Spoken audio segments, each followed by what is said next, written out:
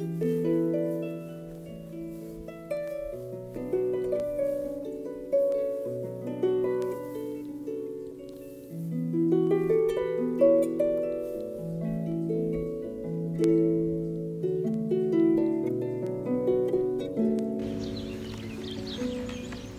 Bloomsday. I'm so glad you're joining us for today's Bloomsday. Me too. I'm Judith Roberts from the Literacy Project, and of course, I'm Rosemary, Rosemary Caine. Caine. In unison. In unison. Tonight's Bloomsday is a benefit for the Literacy Project.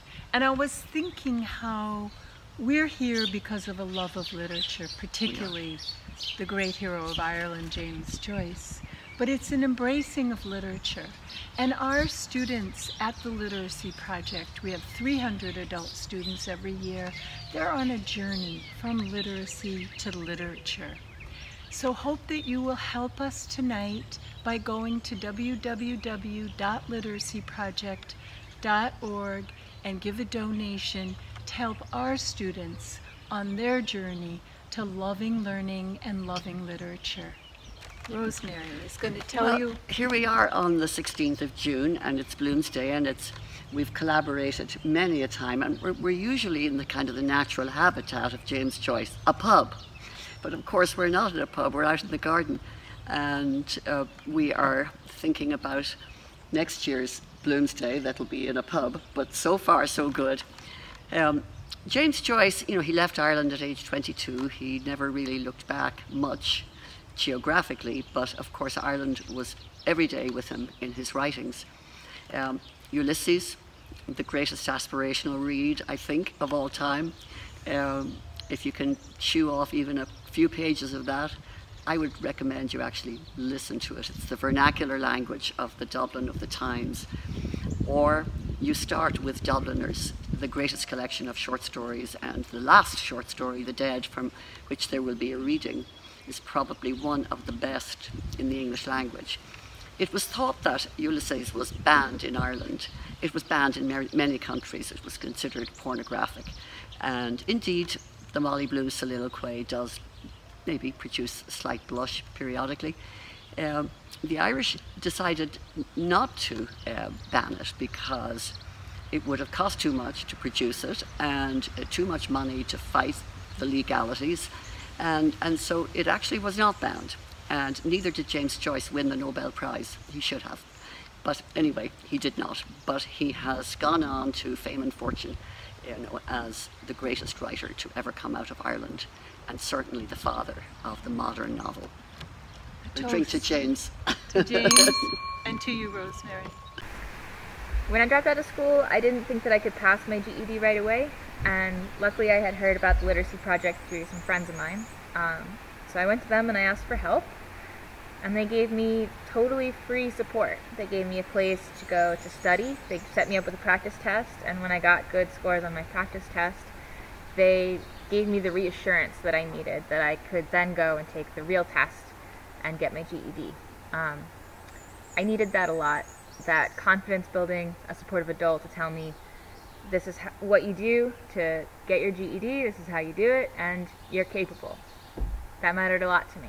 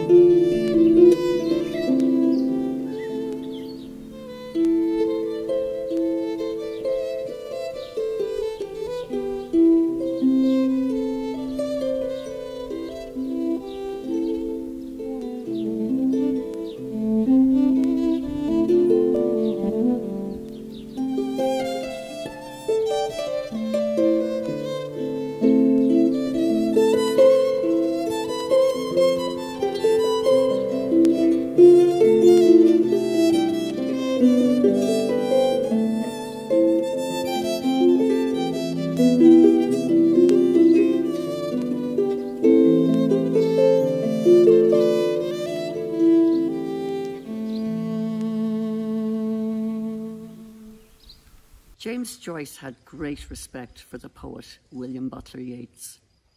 Not alone did he love his poetry, but he also loved singing William Butler Yeats poems that were set to music. So we have Down by the Sally Gardens, sung by Brooke Steinhauser.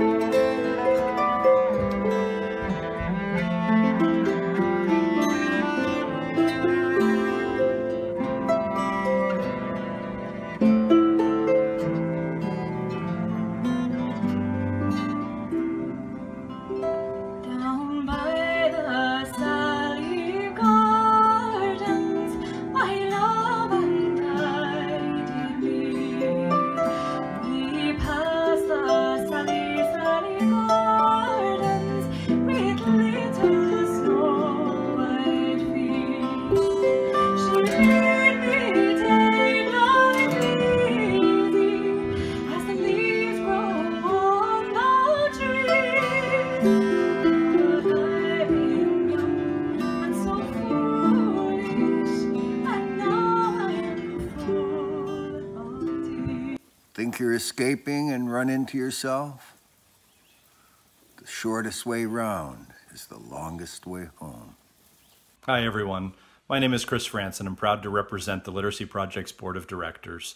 Thank you very much for participating in this Zoomsday Bloomsday. Your generosity is more important now than ever. So many of our adult students have lost their jobs, and many of those jobs aren't coming back. Over the last couple of months, the Literacy Project team has worked hard to put all classes online uh, and has raised enough money to provide 35 laptops to students in need. As we look ahead to the fall and next winter, 35 to 40 more laptops are needed. Um, please donate. Any amount will help. Uh, go to literacyproject.org um, and do what you can. Thanks so much.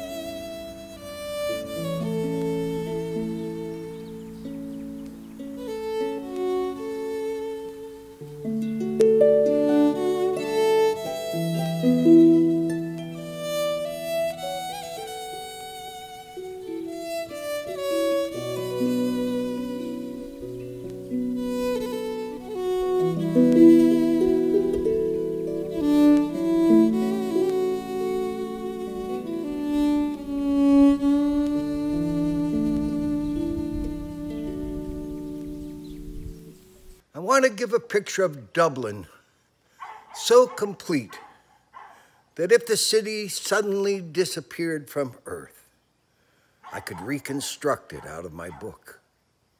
So we fall in love with learning, learning to love, and loving to learn at the Literacy Project. So please help us out tonight. Go to www.literacyproject.org to make a donation so that we can provide laptops for our students. All of our classes now are online and we can provide those laptops so our students can work from home and continue with their education to make a better tomorrow, to love learning and learn to love. Thank you so much.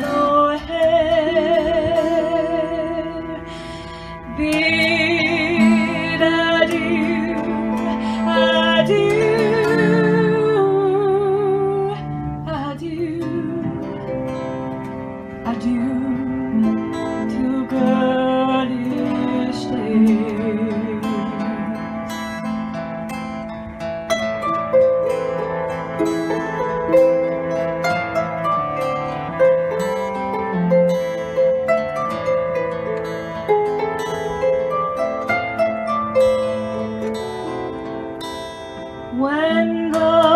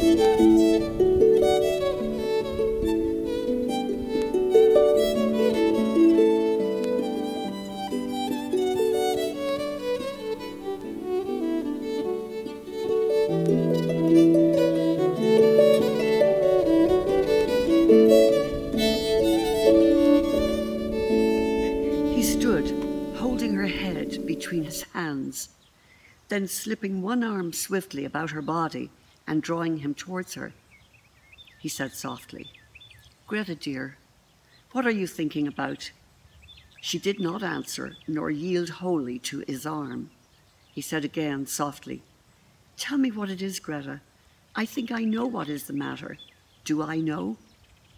She did not answer at once. Then she said in an outburst of tears, Oh, I am thinking about that song, The Lass of Aughrim.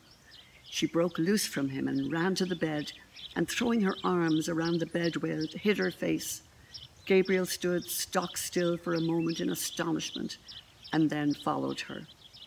As he passed in the way of the cheval mirror, he caught sight of himself in full length, his broad, well filled shirt front, the face whose expression always puzzled him when he saw it in the mirror, and his glimmering, gold rimmed eyeglasses.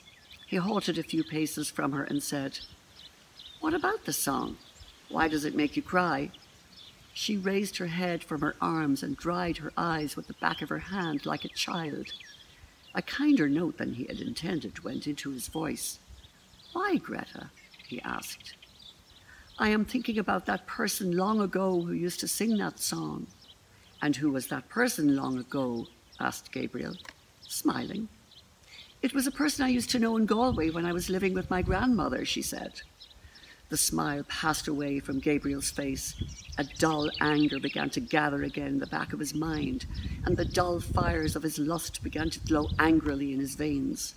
Someone you were in love with? he asked ironically. It was a young boy I used to know, she answered, named Michael Furey. He used to sing that song, The Lass of Aughrim. He was very delicate. Gabriel was silent. He did not wish to think that he was interested in this delicate boy.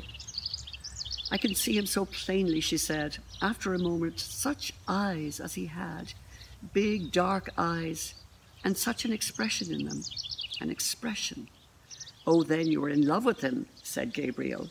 I used to go walking with him, she said, when I was in Galway. A thought flew across Gabriel's mind. Perhaps that was why you wanted to go to Galway with that Ivors girl, he said coldly. She looked at him, and again in surprise. What for? Her eyes made Gabriel feel awkward. He shrugged his shoulders and said, How do I know? To see him, perhaps. She looked away from him along the shaft of light towards the window in silence. He is dead, she said at length. He died when he was only 17. Isn't that a terrible thing to die as young as that? What was he? asked Gabriel, still ironically. He was in the gasworks, she said. Gabriel felt humiliated by the failure of his irony and by the evocation of this figure from the dead, a boy in the gasworks while he had been full of memories of their secret life together, full of tenderness and joy and desire, she had been comparing him in her mind with another. A shameful consciousness of his own person assailed him. He saw himself as a ludicrous figure, acting as a penny boy for his aunts, a nervous, well meaning sentimentalist, orating to vulgarians and idealizing his own clownish lusts the old fatuous fellow he had caught a glimpse of in the mirror. Instinctively, he turned his back more to the light, lest she might see the shame that burned upon his forehead. He tried to keep up his tone of cold interrogation, but his voice, when he spoke, was humble and indifferent. I suppose you were in love with this Michael Furey, Greta, he said. I was great with him at that time, she said. Her voice was veiled and sad. Gabriel, feeling now in vain it would be to try to lead her whither he had purposed, caressed one of her hands and said, almost sadly, And what did he die of so young, Greta? Consumption, was it? I think he died for me, she answered.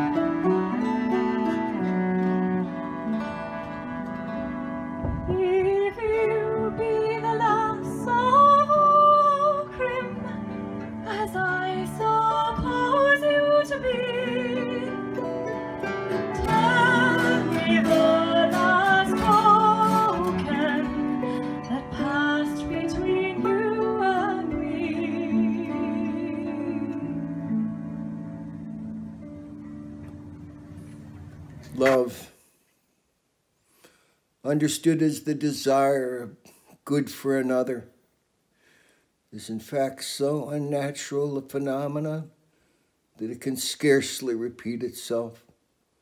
The soul being unable to become virgin again and not having energy enough to cast itself out again into the ocean of another soul. And Gibraltar, as a girl, where I was a flower of the mountain, yes. When I put the rose in my hair like the Andalusian girls used. Or shall I wear red? Yes. And how he kissed me under the Moorish wall, and I thought, well, as well him as another. And then I asked him with my eyes to ask again, yes. And then he asked me, would I? Yes. And to say, yes, my mountain flower. And first I put my arms around him, yes. And drew him down to me so he could feel my breasts, all perfume, yes. And his heart was going like mad. And yes, I said, yes, I will. Yes. At the Literacy Project, we're all about hope hope for a better future for our students, for a better tomorrow. And James Joyce said, I am tomorrow or some future day what I established today. So one of our students at the Literacy Project said, The Literacy Project has given me back my tomorrows. We've given her a second chance at having a better future, a better tomorrow. And our students go on, once they have the high school diploma, they go on to community college, to job training programs, and to better jobs to support themselves and their families. One of our students from Northampton, Joe, said, All of my problems in life come from being undereducated. He said, I never knew that education also included art and poetry and literature. I never thought I'd be the person to look forward to Monday morning to coming to school at the Literacy Project.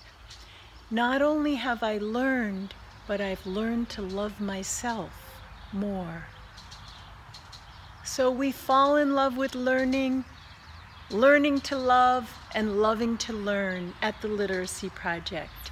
So please help us out tonight. Go to www.literacyproject.org to make a donation so that we can provide laptops for our students. All of our classes now are online and we can provide those laptops so our students can work from home and continue with their education to make a better tomorrow, to love learning and learn to love. Thank you so much. Hey, this is Joseph Lubol for the Literacy Project. You know, just a couple personal thoughts. Most of my struggles in life were directly related to education. At 58, education is scary. The Literacy Project was very warm and welcoming. I never realized education would make me a better steward in the community. And I never realized the arts was part of education. And I can't ever remember on Sunday saying, I can't wait till school. But for all I've learned here, the Literacy Project has taught me to love myself. Sincerely, Joseph Lubol. Thank you. A girl from the countryside, very smart, pretty, I guess, uh, leaves home, and her name is Nora Barnacle. Well, looking for love, because if you have a last name like Barnacle, you scrape off being single. She did very well, actually. I mean, Nora met a young man named James Joyce, she was 20, he was 22. They fell in love, of course, ran away from uh, Ireland, left Ireland, and lived a life on the road. And of course, you know, James uh, wrote uh, the book Ulysses, of which Nora had only read 17 pages of college. That's 17 more pages than I could ever get through. but, you know, they had a, a very bitter relationship with Ireland. It was very hard. So they lived abroad, Paris, Trieste, moved around. And when they were flush with money, of course, then they, uh, they, they lived well When they weren't flush, they lived like anybody else, going between Paris, Trieste, ups and downs, just like any couple in the world. I'll let them tell you the story of this, all right? Let's hear about it all, Nora.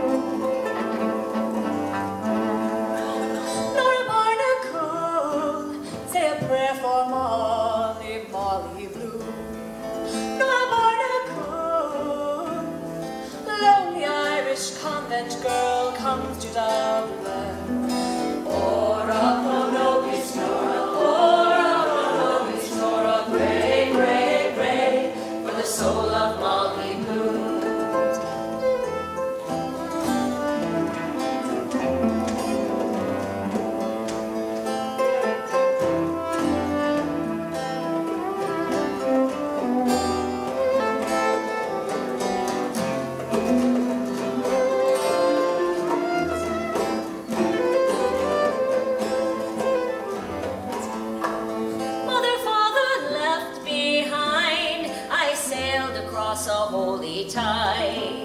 When I made the drastic choice to run away with Jimmy Joyce, Dublin snobs did scoff and sneer. They said I'd wrecked his bright career. Instead, of course, I was his muse, a notion they would disabuse for a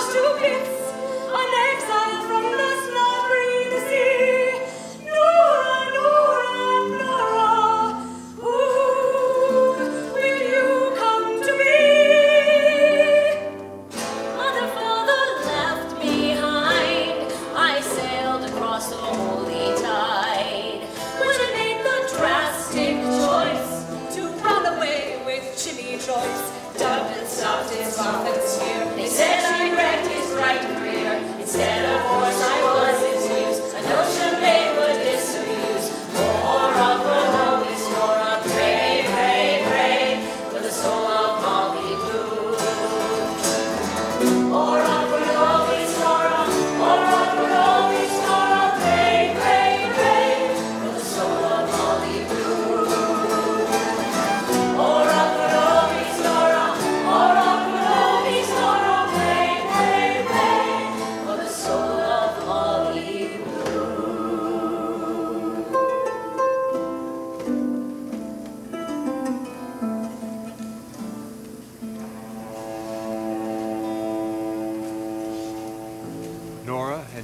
Did not marry for 31 years after leaving Ireland.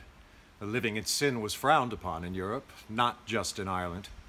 Because of their unstable financial situation, they lived in over 20 different locations in Europe, moving from apartment to apartment and country to country. The children, Lucia and Giorgio, were born in Trieste and Paris.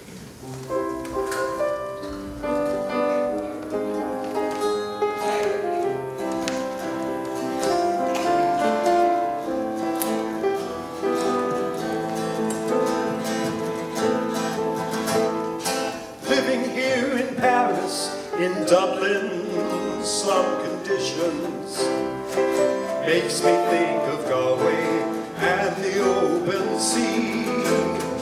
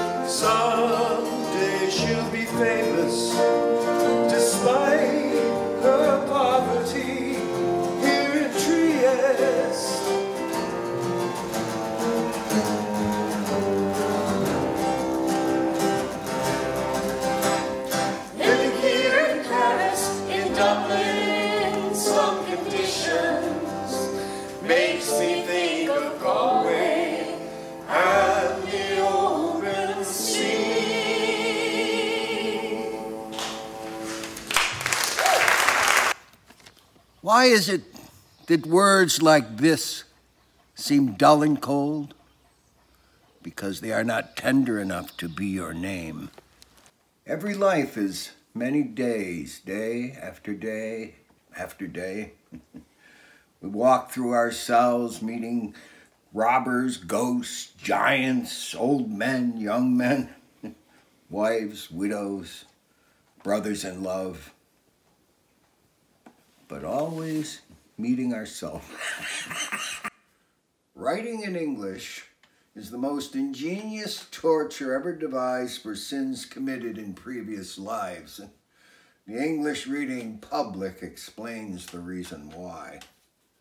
James Joyce said, I am tomorrow or some future date what I established today.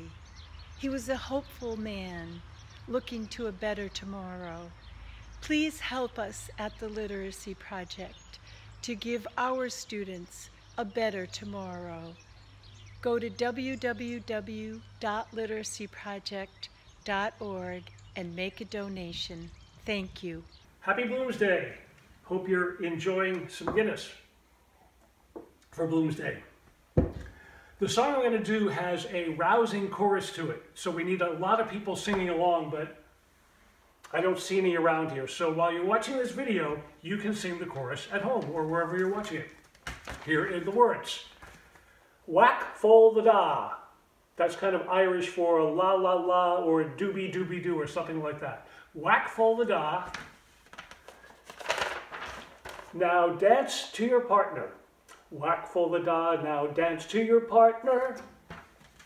Then we have round the floor your trotters shake. Your trotters are your legs, so it means you're dancing. Whack full the da, now dance to your partner. Round the floor your trotters shake. Not much more. Wasn't it the truth I told ya?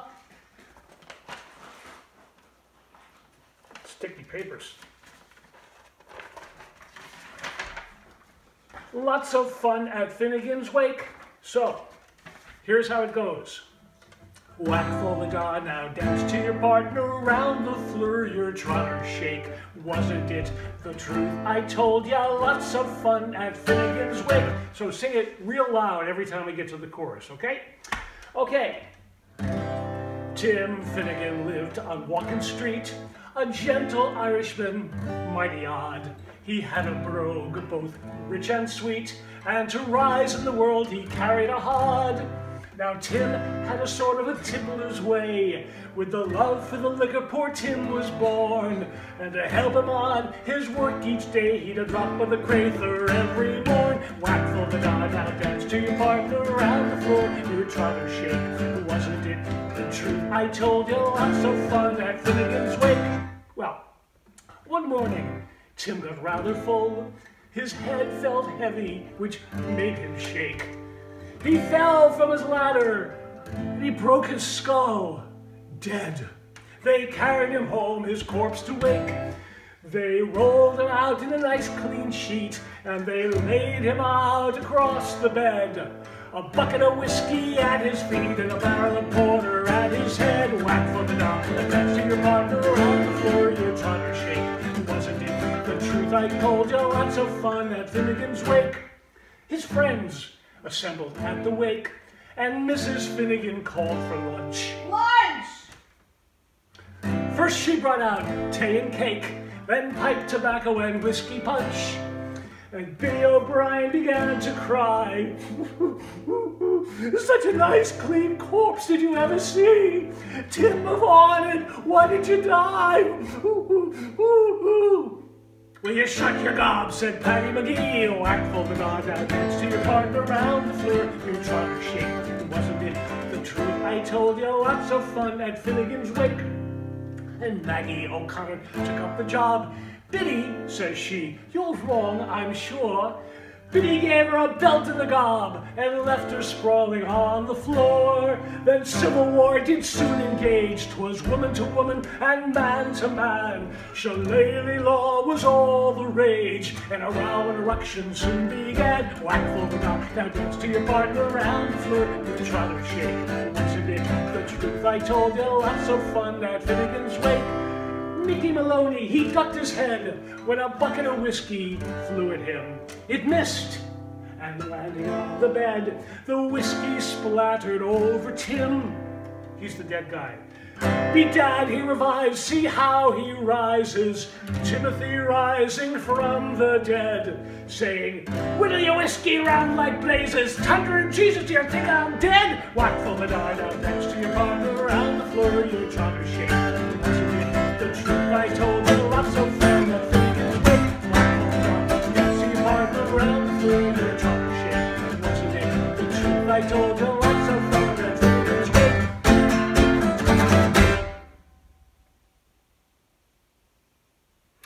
Now, the song Finnegan's Wake was very popular in music halls in the 1860s. And James Joyce did something very, very clever with that title of Finnegan's Wake. He took out the apostrophe. So it's no longer Finnegan apostrophe S wake. It's Finnegans, a word, wake. Instead of being about the wake of someone named Finnegan, Finnegans becomes a noun and wake becomes a verb. So he's not saying something about the wake of Finnegan. He's saying a statement, Finnegans wake. Finnegans are humans and they wake. We all wake in an endless cycle, in a circle of birth and death and rebirth. And that's what the whole book is about that endless cycle of birth and death and rebirth. And the whole book is a circle. It has no beginning, It has no middle, it has no end, it just goes around and around and around. Now, the very last word on the very last page of the book is the word the. Just hanging there in midair, no comma, no dot, dot, dot, no anything else, just the. And the first word of the book is a lowercase word, uh, the, word is riverrun. So what happens is you reach the very last word of the book and you go back to the beginning and it goes around and around and around. So it comes down to Finnegan, begin again. And I'm going to read the very last few words of the book and go right back into where it starts again the beginning, the end, the beginning, and the end. So, Avelaval. My leaves have drifted from me, all, but one clings. I bear it on me to remind me of Lif. Oh, soft this morning hours. Yes, carry me along, Teddy, like you done through the toy fair. If I had seen him bearing down on me now, under white spread wings, like he'd come from archangels, I'd sink down, I'd die over his feet, humbly dumbly, only to wash up. Yes, tid. There's where, first, we pass through grass, be hush the bush, to wish, gull. Gulls, far calls, coming far, end here, us then, fin again, take, busoffle thee, memor me, till thousands and thee, oops, the keys to, given, away, alone, a last, a loved, along the riverrun, past Eve and Adam's, from swerve of shore to bend of bay, brings us by a commodious vicus of recirculation back to Howth Castle and environments. The beginning and the end and the beginning.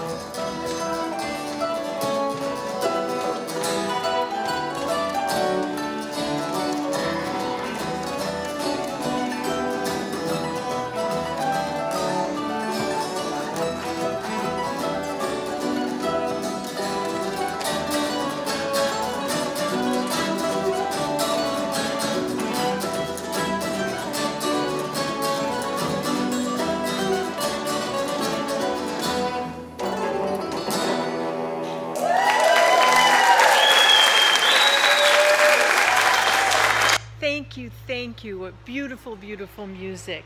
And a big thank you to Rosemary Caine and the Wilde Irish Women and the great men that have the good sense to follow them. Robin Fouts, Brooke Steinhauser, Michael Morgan, Chris Devine, Michael Haley, Mo McGilligan, Jenny and Yanis Chibani. And thank you to our musicians, our readers, our singers. So beautiful and uplifting. And I also want to thank Drew Hutchison for donating his time to put this Zoom video together. Thank you, Drew. Very generous of you. And our wonderful sponsors who have made this program free and open to the public Jones Whitsitt Architects of Greenfield, the Greenfield Cooperative Bank, Hit Point of Greenfield, Media Games, and also Snow and Sons Landscaping. So they've co contributed to the Literacy Project, and we hope that you will too. We hope you'll dig deep into your hearts and pocketbooks and give at www.literacyproject.org. We're raising money to buy laptops for our students so they can continue their studies during this time from home. Thank you.